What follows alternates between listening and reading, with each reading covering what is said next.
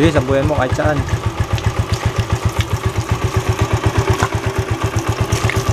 Tag-ulan na ngayon at nag-aalala ako sa inyo mga boss na baka mamaya ay mapadaan kayo sa baha, mamatay ang motor nyo o kaya naman ulan lang mamatay na ang motor nyo. Ginawa ko tong video na to para sa inyo para kahit pa paano makapagbigay ako sa inyo, sa inyo ng idea para kung sakaling kailangan nyo ay magawa nyo.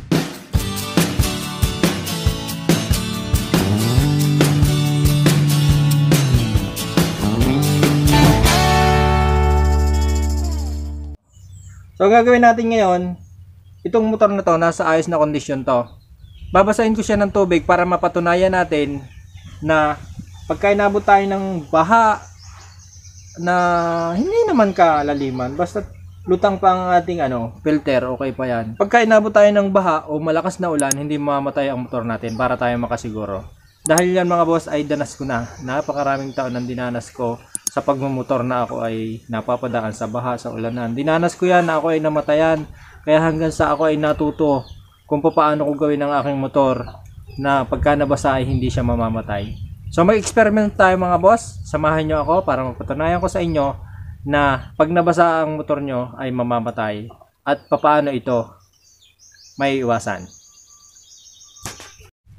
So mga boss, babasain na natin. Sige Toy, i-start mo.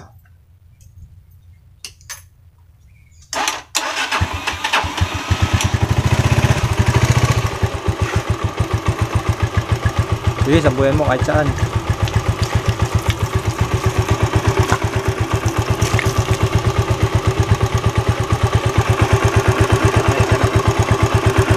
Ito pa.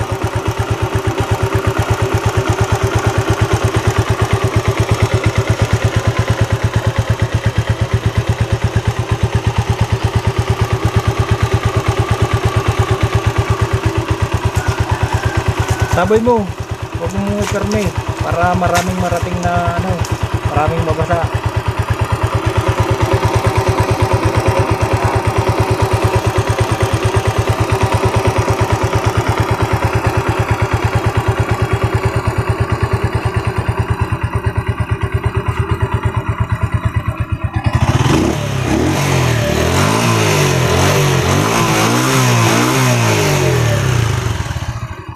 Okay, isa. Okay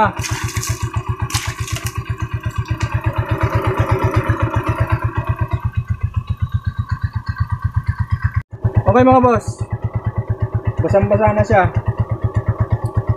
Ibig sabihin lang, ah walang mali sa linya ng kuryente ng ating motor. Nasa tamang kondisyon siya. So, pwede natin siyang ilaban sa bahaan. Basta lutang ang filter ha. At saka hapit ang inyong ano, ang clamp ng inyong filter. Tapos, ah, ano pa?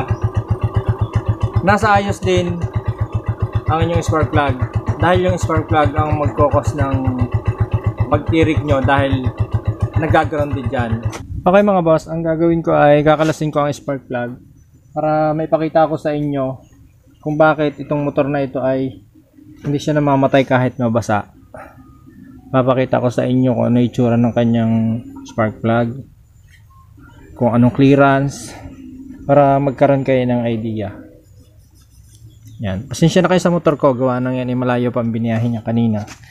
Galing ako ng Batangas City. Ng Lipa City pala. Galing ako ng Lipa City. Tanggalin natin yung spark plug para ipakita ko sa inyo ang uh, clearance niyan at saka makita nyo din kung paano ano ang sunog. Maganda ba ang sunog ng spark plug ko. Ginagawa ko ito mga boss para sa inyo dahil uh, yun nga uh, inaalala ko kayo na baka mamaya ay abutan kayo ng ulan kaya ay mapasaba kayo sa baha ay tumiri kayo. So itong idea ito makakatulong po ito sa inyo uh, para kayo ay may idea na paano kayo hindi titirik. So mga boss, ang sunog ng aking spark plug ay nagba-brown may brown pero yung kanyang tawag dito medyo maitim pero okay naman yan hindi ako tinitirik yan mga boss malinis yan Pero brownish, di ba? Oh. Saka tuyo. Yan ang kondisyon ng spark plug na nakakasiguro ka na hindi ka ititirik sa daan. Tapos ang clearance, alam nyo ba mga boss na ang aking filler gauge ang ginagamit ko lang ngayon oh. Talim ng lagari. Ito. Ano. Talim lang ng lagari. Pagka wala kang filler gauge, talim ng lagari pwede na. Katalo na yan. Basta lusot ang talim ng lagari, okay lang lumuwag ng kahit na kaunti. Pwede yan. Dahil malaga, mahalaga yung clearance na yan para magbigay ng tamang spark ang ating spark plug. At saka isa pa sa importante mga boss, alam nyo ba kung bakit kaya natirik ang spark plug ang motor nyo? Ang motor natin. Pagka ang motor natin ay mausok na o medyo nakain na siya ng langis, kaya kadalasan sa mga ganong klase ng motor ay natirik gawa ng ito napupuno ito ng carbon. So pag napuno yan ng carbon, wala nang tatakbuhan ito ng spark. Dito nang gagaling yung spark eh mula dito papunta dito. Wala nang tatakbuhan niya, wala nang pupuntahan. So saan mapupunta ang spark? Dito na. Wala nang spark kung saan saan nadadaan yon. Dito sa loob nito meron din yung carbon, dadaan yan doon. Dedirekta na dito. Dito sa ground didirekta na siya dito sa ground. So pag dumirekta siya dito sa ground didirekta na din siya sa body. So pag nabasa si body magka-ground na yun doon na mamamatay. O hindi na aandar. Yun ang pinakamadaling rason kung bakit ang motor natin ay ayaw umistart o namamatay di ba pag pagka ang motor natin ay ayaw mag-start, ang ginagawa, may power naman dito, may kuryente, tatanggal yung spark plug, lilinisin. Tapos okay na. Yun yung dahilan ba't namamatay ang ang motor dahil yung yung tapon ng ano ng spark sa body na napunta. Ayan eh pagka nag-ground sa body, hindi yan mabubuhay, mamatayan. Yun yung pinaka basic na paliwanag diyan. So, babalik na natin na rin mga boss. Okay ang spark plug. Ah, nakakasiguro tayo na makakabiyahe tayo ng ayos pagka ganyan ng spark plug. Tama ang clearance, malinis, good yan. Makakabiyahe tayo. Tapos, meron pang isa. Meron pang isang ano. Ah, dahilan kung bakit pag nabasa ang ating makina ay tumitirik. Babalik muna natin na rin.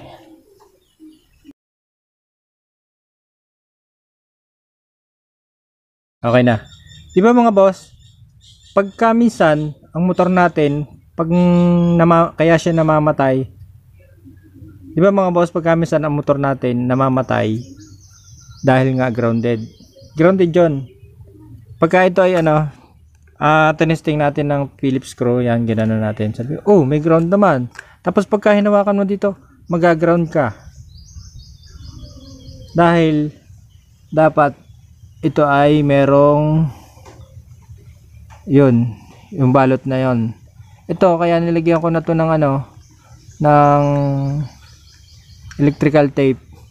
Kaya nang nasira na yung balot niya dito. So nilagyan ko na lang siya ng electrical tape. Yan.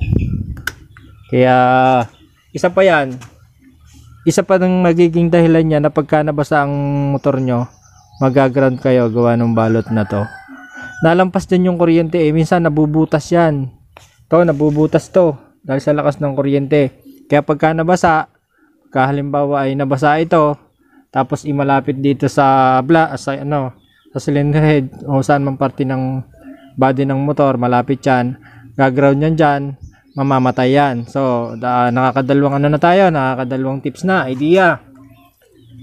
Tapos, hala, uh, sa baha naman, dapat ang inyong clam ng filter hapit yan hindi dapat papasukin ng tubig yan dahil pwede ding maging dahilan niya ng uh, pagtirik ng motor natin pag pinasok ng tubig yan papasok sa spark plug diretso sa co- combustion chamber, hindi masusunog ng combustion hindi makuku hindi masusunog sa combustion chamber, magiging carbon.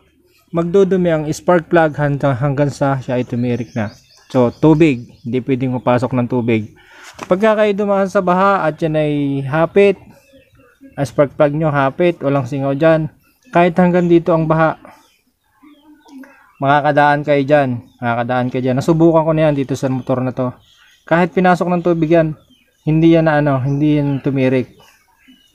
Hanggang dyan. Tapos, may isa pa mga boss na pwedeng dahilan ng pagtirik ng motor natin. Tapos na tayo dyan. Wala na. Dito na sa kabila.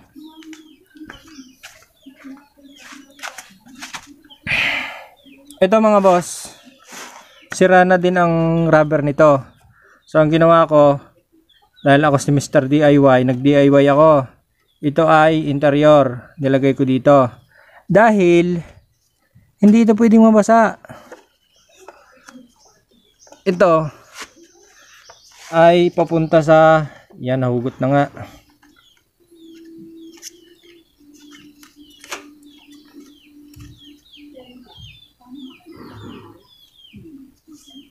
Ito mga boss, mga wiring na to, ah, dito nabubuhay ang ating motor. So maraming gamit dyan, meron dyan papunta ng ah, voltage regulator. Ito papunta to ng voltage regulator. Ito ay pulsar. Tapos ito ay negative, negative. Hindi ako nagkakamali. Na siya eh, 6 6 wiring. Pero wag na natin mga boss pag-usapan niya ang mga ibang wiring niya. Basta't ang mahalaga dito mga boss, pinaka-importante sa lahat, ang pinag-uusapan naman natin dito ay yung mababasa. Ito mga boss, kaya siya merong rubber dyan na cover para siya ay hindi mabasa dahil dito sa wiring na ito na ah, black and red. Kasi mga boss, malakas ang voltahe nito. Ito ay pag nag-ground ka, para ka ding nag-ground sa spark plug. Yon, pinaka short na paliwanag. Dahil ang pinag-uusapan natin dito ay yung pagka ikaw ay nabasa. So hindi to pwedeng mabasa. Pag ito mga boss ay nabasa, tapos ipati itong mga katabi niya ay nabasa, dahil sa lakas ng voltahe nito, kayang gumapang ng voltahe nito dito sa mga wiring na to. Magiging dahilan siya ng pagtirik ng ating motor. Kaya ito mga boss ay dapat ay hindi mabasa. O pwede siya mabasa, wag lang basang-basa. Dahil yan, dahil yan mga boss ay subuko na. Nangyari na sa akin yan dito mismo sa motor na to. Nag-ground pa nga ako dito eh. Kaya yan ang isa sa importante mga boss. So okay na tayo dyan mga boss. Ano pa? Wala na. Yun lang, simple lang. Ito lang ha mga boss ang importante sa lahat dito dahil pag ito ay nag-grounded dito, wala na, tiri ka na. Ito nga yan oh, pagka ito ay nababasa, ang ginagawa ko lang, tinatanggal ko tong rubber na to tapos pinupunasan ko. Aandar na uli yan. Okay mga boss, babalik ko na to. At pagka hindi rin nakakabit itong black and white na to ay hindi aandar yan. Okay na tayo dyan.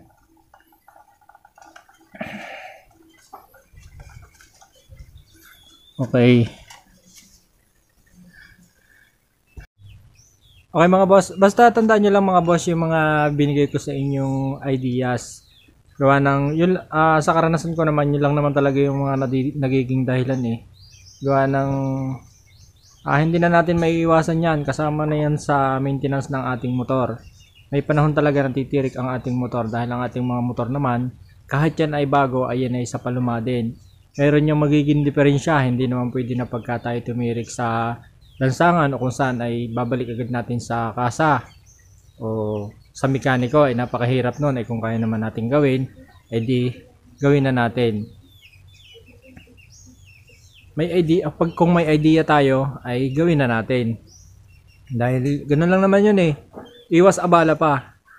Para hindi na tayo maabala. Halimbawa ay tumirik ka ngayong hapon kinabukasan ay gagamitin mo ay di maghahanap ka pa ng mekaniko ay kung meron kang idea, ay di malaking bagay yun, makakatipid tayo sa oras at hindi pa tayo mag-aalala na baka, baka kinabukasan ay hindi ka makabiyahe. So yun lang muna mga boss ang aking ah, maibibigay na idea sa inyo ngayong araw na ito. Sana ay makatulong ang video kong ito sa inyo. At ah, nag-uulan na. Ingat po kayo lagi sa lahat ng oras. Ah, drive safe. Ah, lagi kayong magdadala ng dapat na kailangan natin pagka tayo magbibiyahe. Dahil nag-uulan na ngayon, kailangan natin ng kapute. Yun, kailangan natin ng protection sa ulan. So mga boss, salamat. Hanggang dito na lang muna ang aking video. At ah, kita-kita tayo sa susunod na video. Salamat!